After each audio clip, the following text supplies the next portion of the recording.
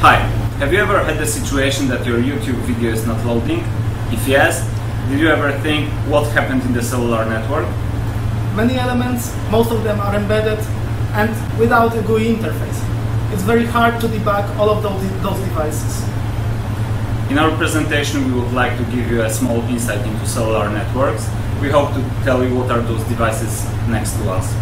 And if you wonder why your YouTube video is not loaded, then we'll show you in November.